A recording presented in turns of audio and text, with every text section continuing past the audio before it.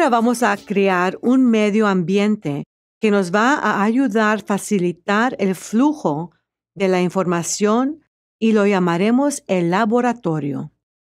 Este es un lugar imaginario que vas a sintonizarte y tendrás todo lo que necesitas para resolver problemas. El laboratorio es especial en su posición porque radica en la dimensión creativa y llegaremos a la dimensión creativa con una cuenta regresiva especial. Hasta ahora, entramos a nuestro nivel con el método del 3 al 1 y después usamos la cuenta regresiva o descendiente del 10 al 1 para profundizar. Tú puedes seguir usando esa rutina. Vamos a añadir una cuenta adicional regresiva del 10 al 1 para entrar a la dimensión creativa. Estas cuentas regresivas son cuentas para sintonizar. Y tú puedes usar una cuenta regresiva del 10 al 1 para sintonizar a lo que tú desees sintonizarte. Si yo quiero sintonizar más para resolver problemas de un asunto de negocios, entraría a mi nivel usando el método del 3 al 1 y del 10 al 1 una vez en mi nivel, diría, ahora voy a contar del 10 al 1 para sintonizarme a la dimensión a donde yo me voy a ser precisa y exacta en resolver problemas en un asunto de negocios. 10, 9, 8, 7 y así sucesivamente hasta llegar a la cuenta del 1. Como vas contando del 10 al 1, siéntete a ti mismo o experimentate sintonizándote en una dimensión dentro de ti que tiene información para ayudarte a resolver problemas de un asunto de negocios. Ahora, puedes hacer lo mismo si quieres sintonizarte para ser más creativo, como un pintor pintando en un lienzo, o una bailarina o creando una receta grandiosa. Cada vez que quieres sintonizarte, puedes usar esta cuenta regresiva del 10 al 1. Me encanta usar la cuenta regresiva del 10 al 1 para sintonizarme a mis seres queridos. Entro a mi nivel usando el método del 3 al 1, del 10 al 1 y después cuento del 10 al 1 lentamente para que mi mente y mis sentidos puedan sintonizar a esa persona. Cuando llegue al nivel 1, la energía de esa persona será muy evidente para mí. Ahora puedo hablarle mentalmente. Puedo proyectarlo a mi pantalla mental y mandarle energías para curarse. O puedo imaginarlo haciendo algo que es positivo y constructivo, o puedo proyectarlos para que tengan un deseo para cambiar. Ya mencionamos que no puedes forzar o controlar a nadie o hacer que nadie haga algo. Pero cuando se trata de tus seres queridos, es tu obligación para hacer lo mejor ayudarles a que sigan adelante de una manera positiva. Y lo menos que puedes hacer es proyectarles amor, energía curativa y buenos comportamientos. Y si es necesario, también puedes imaginarlos corrigiendo sus comportamientos y resolviendo los problemas. Así es que el laboratorio es una dimensión especial y vamos a usar esta cuenta regresiva del 10 al 1 para sintonizarnos a esta dimensión creativa a donde vamos a crear nuestro laboratorio. Cada vez que entres a tu nivel del laboratorio, estarás entrando a tu dimensión creativa.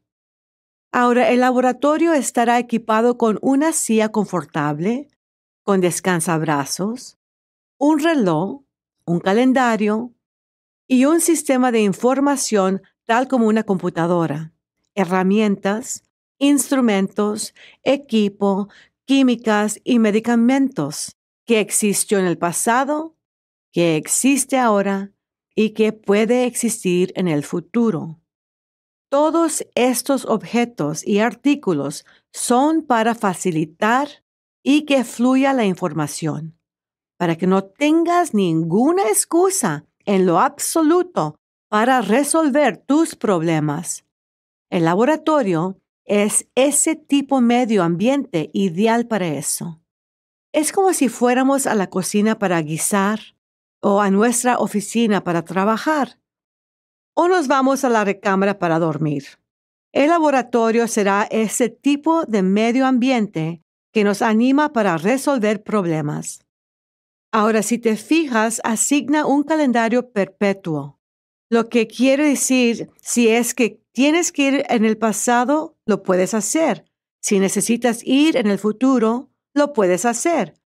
De esta forma tienes la manera de medir tu tiempo si necesitas hacerlo usando un calendario perpetuo.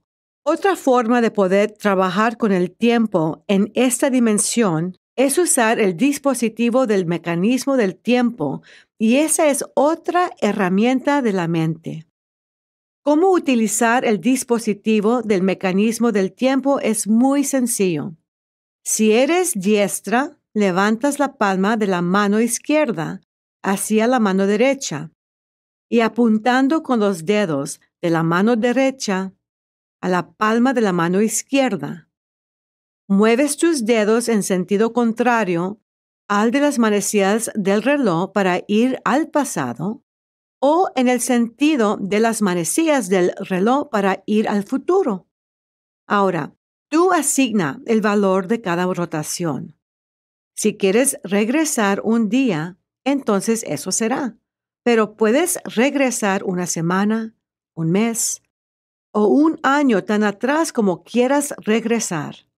Ir en el futuro haciendo básicamente lo mismo, pero en la rotación como va el sentido de las manecillas del reloj. Tienes tu calendario o tu dispositivo del mecanismo de tiempo que te puede ayudar a moverte a través del tiempo. También mencionamos que tienes herramientas, instrumentos, equipo, químicas y medicamentos de todos tipos que existen en el pasado, presente y en el futuro. Lo que necesitas está allí en tu laboratorio. Tu laboratorio puede ser tan fantástico como tú quieres que sea, o cauteloso como quieras que sea, y puedes regresar a tu laboratorio y remodelar cuando quieras.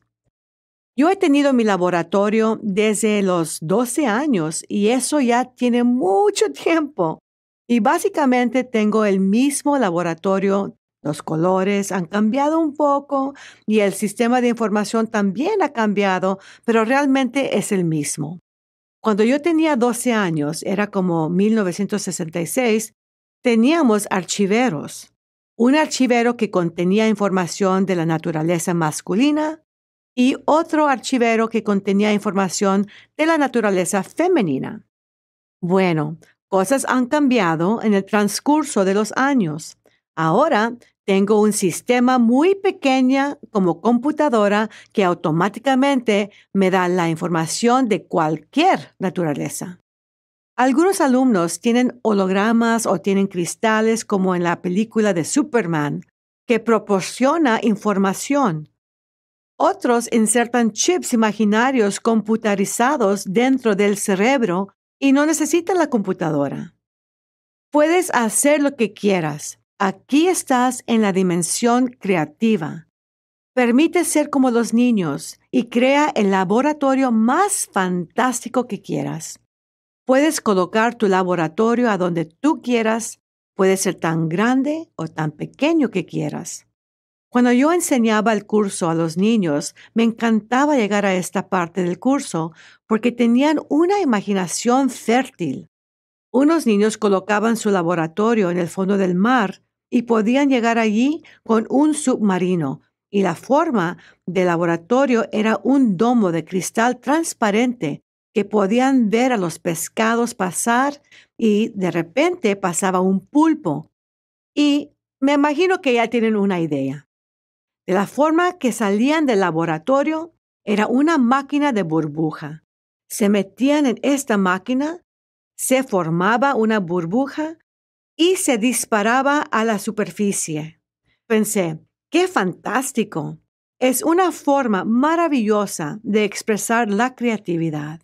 Así es que, durante el ejercicio, déjate ir y conviértete en un niño y diviértete.